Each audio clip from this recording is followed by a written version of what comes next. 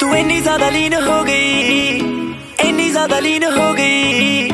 ਪਾਰ ਜਿਵੇਂ ਖੰਭ ਗੋਰੀਏ, ਨੀ ਤੂੰ ਸੂਰ 'ਚ ਬੰਦੂਕ ਲੱਗਦੀ, ਜੀਨ ਵਿੱਚ ਬੰਬ ਗੋਰੀਏ। ਨੀ ਤੂੰ ਸੂਰ 'ਚ ਬੰਦੂਕ ਲੱਗਦੀ, ਜੀਨ ਵਿੱਚ ਬੰਬ ਗੋਰੀਏ।